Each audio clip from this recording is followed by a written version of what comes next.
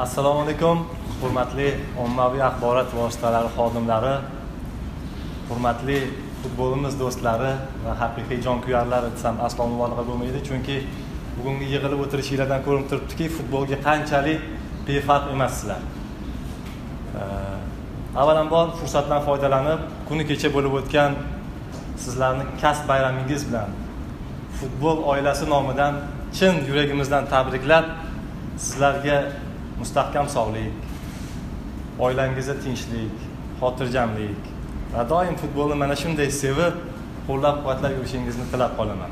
Har doim qandaydir futbol bo'yicha savol va takliflaringlar bo'lsa bizni eshiklarimiz doim sizlar uchun ochiq va bu manimcha bizni keyingi e, yo'nalishda ishlaydigan bir yondashishimiz bo'lib qoladi. E, oxirgi yillarda sizlarni futbol haqidagi maqolalaringlarni Э, ko'rib o'qib o'zimni e, qandaydir tasavvurlarim bor albatta.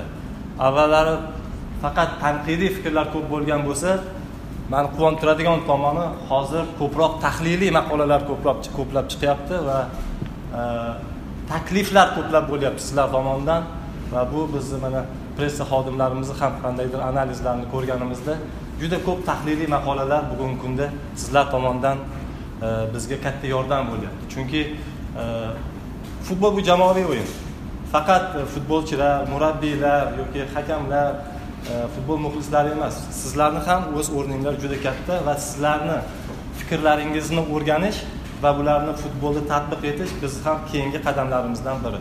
Taqdir taqozosi bilan э, muhtaram prezidentimizni ishonchlari bilan э, mana shu futbolga yaqindan bel bog'lab ishlash э, nasib qilgan ekan. Avvalambor o'zinglar bilasizlar. Ishonch so'zi men uchun doim e, ustuvor bo'lib kelgan va e, oldingi faoliyatimizda ham ofk va fifa ham bizga e, og'ir bir qandaydir hal qiluvchi o'yinlarda bizga ishonch bildirishardi. Va har gal maydonga chiqqanimda menga ishongan insonlarni ishonchini oqlash biz uchun eng eng asosiy maqsadlarimizdan biri bo'lgan. Tan olishimiz kerak. Bugungi kunda e, futbol maqtanadigan darajada yaxshi emas. Biz bundan ham futbolni yaxshiroq bo'lishini xohlaymiz sog'lomroq bo'lishini xohlaymiz. Shuning uchun e, bir qator muammolarni ko'rib bilib turib futbolimiz oldidagi turgan e, jiddiy og'ir va mas'uliyatli vazifalarni ko'rib bir chekkada tomoshabin bo'lib turish futbolni yaxshi ko'rgan odamga vatanparvar insonga to'g'ri kelmasligini o'zinglar ham yaxshi bilasizlar futbolimizda adolat o'rnatish kelishilgan o'yinlar va totalizator bilan kurashish futbolimizdagi eng og'riqli nuqtalardan biri bo'lib turganini hammanglar yaxshi bilasizlar. Kimni haqqi bor shundoq ham zo'rg'a nafas olayotgan futbolga bosim o'tkazib adolatsizlik qilib futbolga behurmatlik qilishga. Aytinglar kimni haqqi bor? Manimcha hech kimni haqqi yo'q. Bundan keyin hech kimni haqqi bo'lishi ham kerak emas. Shuning uchun birinchi o'rinda man bekor bu masalani birinchi ko'tarayotganim yo'q chunki futbolda adolat o'rnatmas ekanmiz. Futbol hech qachon bir qadam ham oldinga yurolmaydi. Buni hammanglar ham bilasizlar hammanglar yaxshi tushunib turibsizlar. O'shaning uchun e, adolatni agar xudo xohlasa joy joyiga qo'ysak va hamma ana shu so'zlarni tushunsa va o'z ishida shuni qo'llasa bundan faqat o'zbek futboli yutadi. Buni hamma mutaxassislaru hamma e, murabbiylar futbolchilar hakamlar futbolda faoliyat yuritayotgan hamma tushunishi kerak. Va shu shuni ustuvor masala deb bilish kerak. Man tushunaman futbol bu xatolar o'yini futbolni xatolar o'yinligini hattoki e, dunyoning eng e, manman degan mutaxassislari ham tan oladi. Lekin biz tushunamiz murabbiylar ham futbolchilar ham hakamlar ham har o'yinda adashishi mumkin xato qilishi mumkin. Lekin eng kerakli bu xatolar ataylab qilingan xatolar bo'lmasligi kerak.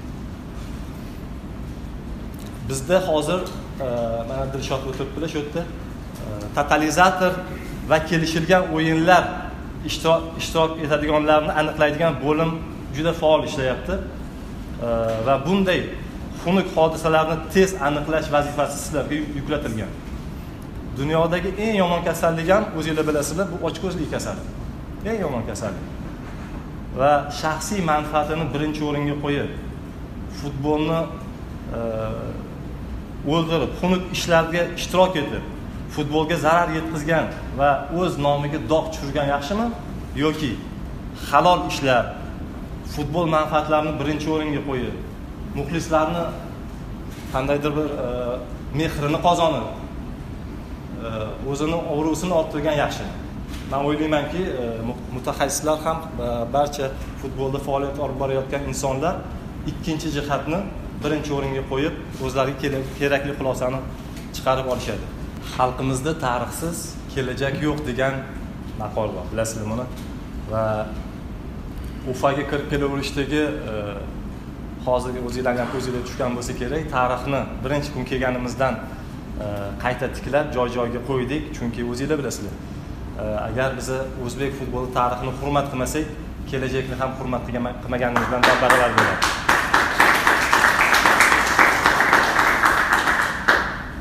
Hali o'zinglar bilasizlar ofkdan fifadan va xalqaro tashkilotlardan o'zbek futbol uyiga kelgan mehmonlarga bizga futbol kecha kirib kelmaganligini va o'zbek futboli o'z tarixiga ega ekanligini ko'rsatishda bu muzeyni ahamiyati judayam yuqori. O'zingiz bilasiz o'zbek futboli bir asrdan oshiq tarixga ega. Biz albatta yaqin kunlarda o'zbek futboli faxriylar kengashini qaytadan tiklashni maqsad qilib turibmiz.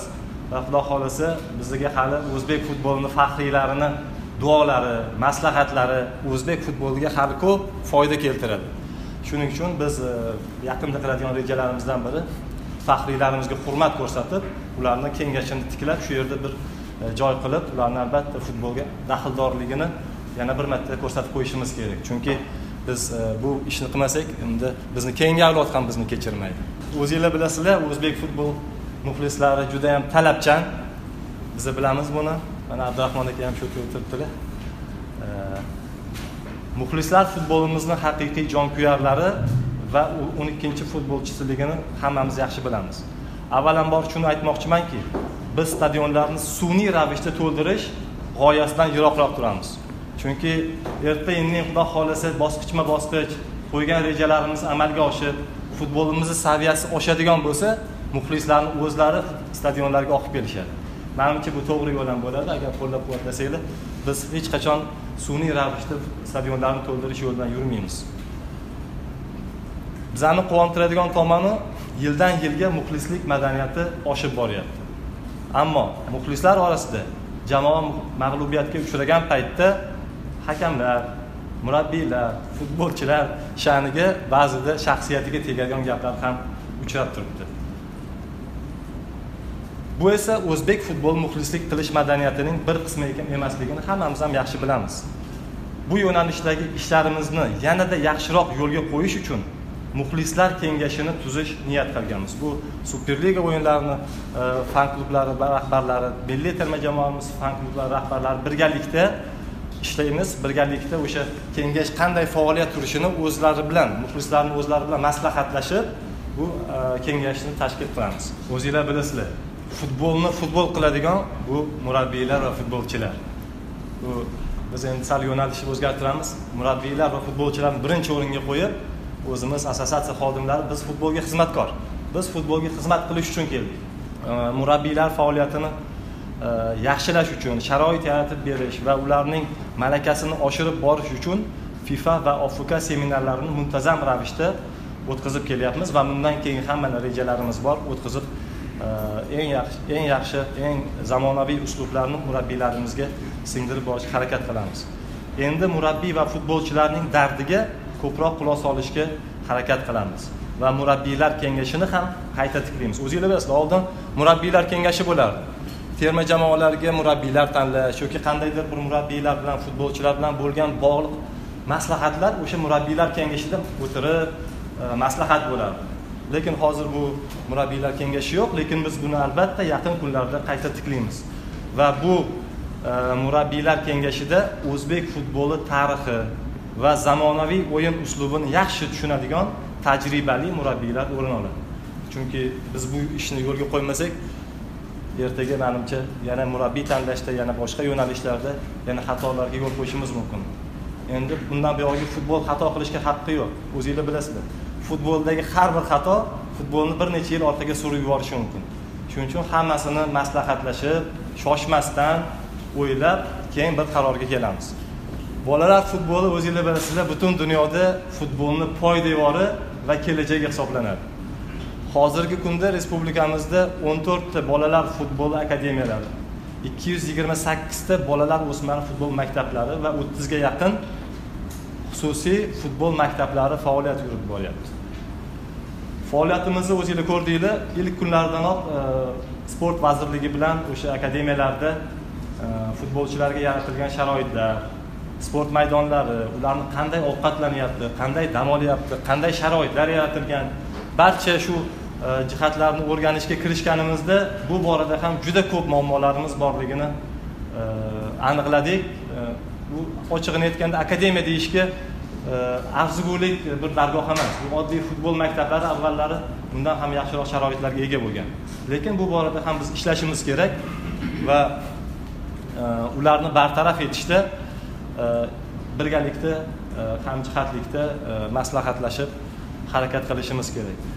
Va bu yo'nalishda e, yosh futbolchilarimiz sharoitlarini yaxshilashda hukumatimiz bizga har qanday yordamni ayamayotganiga alohida minnatdorchilik bildirmoqchiman. Chunki ular ham haqiqatdan ham hukumatimiz futbolni qanchalik yaxshi ko'rishini futbolni qanchalik qo'llab quvvatlashini hammamizga ko'rsatib kelishyapti. Yana bir muammo bu bolalar futbolidagi musobaqalar soni kamligida. Bolalar futbol musobaqalari mahallalarga kirib borishi kerak bizni nazarimizda. Charm to'p yoshlik kabi musobaqalar bo'ladi. O'shalarni boshqatdan tashkil qilishimiz kerak. Umuman olganda bolalar futboli tizimini yanada chuqurroq o'rganib va undagi muammolarni bartaraf qilish borasida biza hozir mana afk bilan fifa bilan va yevropaning bir qator yetakchi klublari bilan muzokaralar olib boryapmiz. Bu chunki e, biz xalqaro e, tajribani ham o'rganishimiz kerak va shu yo'lda e, bir tizim yaratishimiz kerak. O'zimizni mutaxassislar o'zimizda ham bolalar futboliga befarq bo'lmagan va jon kuydiradigan e, mutaxassislar juda yam ko'p. Ular hammamiz bir o'tirib mana shunday chet ellik ofkdan fifadan klublardan e, o'zimizdagi jurnalistlar o'zinglarni ham taklif qilamiz xudo xohlasa. O'tirib bir tizim yaratsak xudo xohlasa shu tizim bilan birga ketadigan bo'lsak manimcha bu to'g'ri yo'l bo'ladi. O'zinglar bilasizlar e, milliy terma jamoamiz sentyabr oyida jahon chempionatini saralash o'yinlarini boshlaydi. Olimpiya terma jamoamiz yanvar oyida bangkokda olimpiya litsenziyasini beradigan e, osiyo chempionatida qatnashadi. O'n to'qqiz yoshli futbolchilarimiz e, noyabr oyida osiyo chempionati yo'llanmasi uchun saralash o'yinlari o'tkazadi va o'n olti yoshli futbolchilarimiz esa sentyabrda osiyo chempionati saralash bosqichiga kirishadi. Bu xudo xohlasa toshkentda bo'ladi. Ko'rib turganingizdek e, barcha terma jamoalar uchun musobaqalar juda kam vaqt qolgan e, kirishishlariga va bunga biz terma jamoalar murabbiylari bilan kelishgan holda tayyorgarlik ko'rish rejalarini tuzib chiqdik va shunga e, amal qilib xudo xohlasa hamma shart sharoitlarni tayyorlab va terma jamoalarimiz bilasizlar o'zinglar o'zbek futbolini yuzi hisoblanadi. Shuning uchun bu bizda har doim yuqori prioritetda bo'lgan va bundan keyin ham shunday bo'ladi. Bundan buyog'iga o'zbekiston futbol assotsiatsiyasi uh, ofk fifa sport vazirligi olimpiya qo'mitasi va boshqa hamkorlar bilan yaqindan do'st bo'lib futbol manfaatlari yo'lida birga ishlaydigan va hammani hurmat qiladigan tashkilotga aylantirmoqchimiz. O'fa va pflda futbolda o'zini emas futbolni yaxshi ko'radigan va tushunadigan shaxsiy manfaatni emas futbol manfaatlarini birinchi o'ringa qo'ya oladigan futbol uchun jon kuydiradigan insonlar ishlashi kerak. Bu borada fifa bilan hozir biz muzokaralar olib boryapmiz. Xudo xohlasa ular e, bizga kadrlar auditi futbol kadrlari auditini yuborib bizga shu shu borada yordam berishadi. Xudo xohlasa biz ham barcha ufa va pfl tizimida ishlayotgan kadrlarni birma bir e, kadrlar auditidan o'tkazamiz. Va undan keyin e, keyingi qadamlarimizni tashlaymiz. Hozirda o'zbekistonlik mutaxassislar ofk va boshqa xalqaro futbol tashkilotlarida muvaffaqiyatli ish olib borishyapti. Biz ular bilan ham yaqindan futbolimiz manfaati yo'lida hamkorlik qilamiz. Hakamlik mavzusi futbolimizning eng og'riqli e, mavzulardan biri desam bu aslo mubolag'a bo'lmaydi va bu yo'nalish ancha muncha islohotlarga muhtoj bo'lib qolgan. Buni ochiq aytishimiz kerak. Va biz bir necha yildan beri professional futbolni havaskor hakamlik bilan qurib bo'lmasligini aytib kelamiz.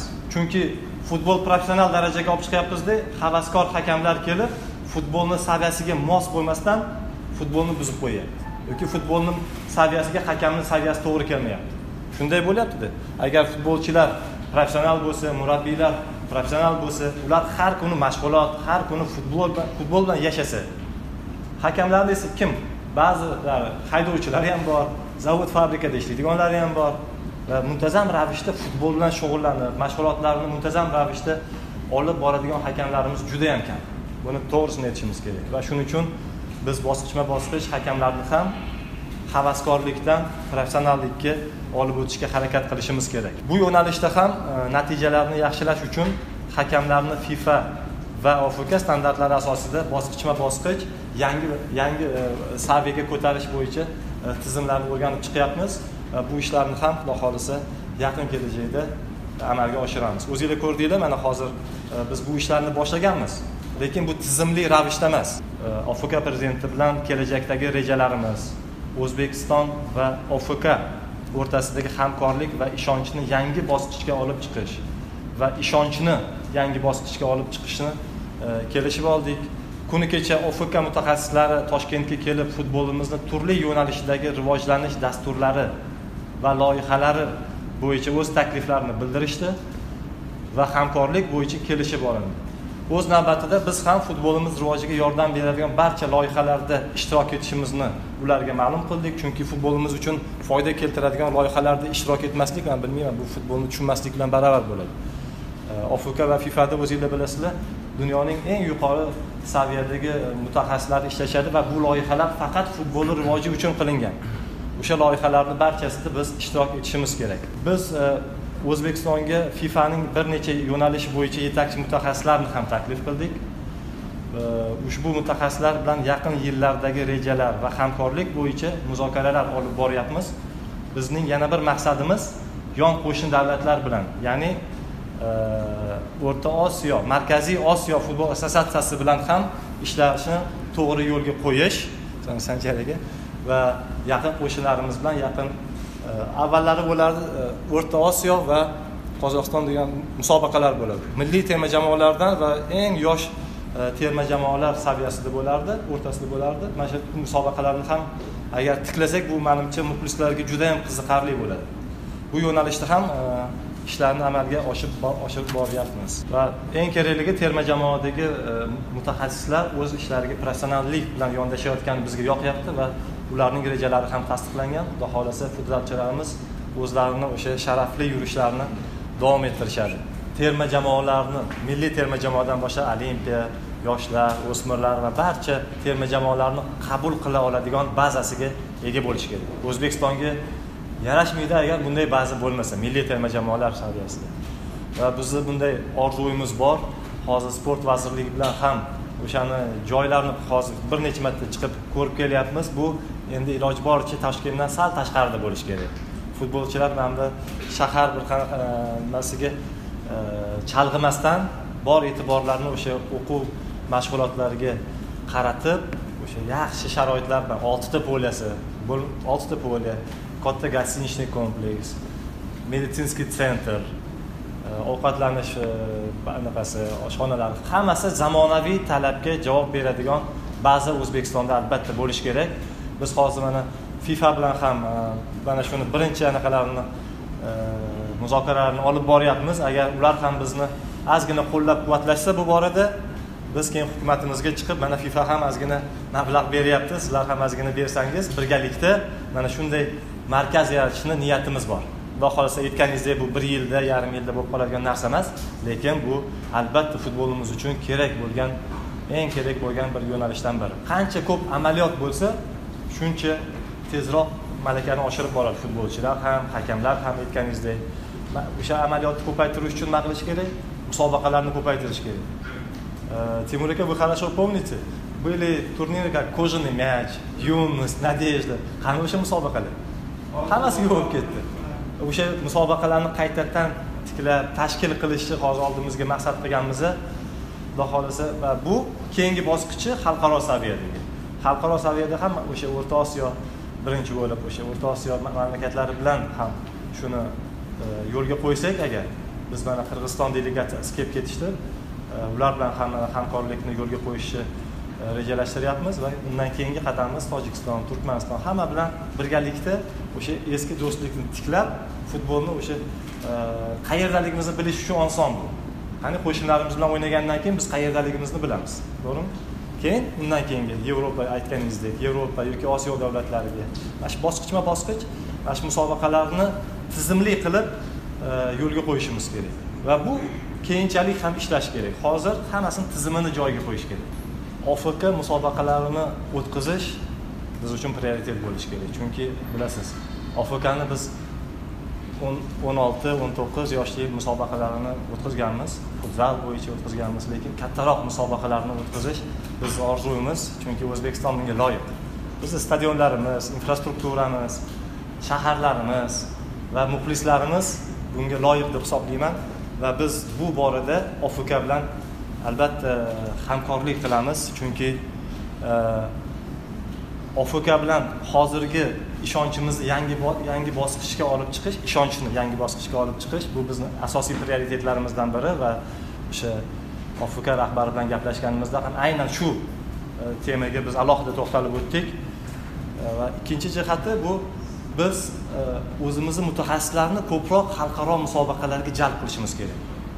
Avvallar bir shunday yondashish ham bo'lganki yoki federatsiyada ishlagan yoki u yoqqa borgan. Yo'q bizga federatsiyada ham ishlasin bu yoqdagi musobaqalarga ham borsin. Bu xalqaro tajriba juda katta narsa. Man o'zimdan bilaman.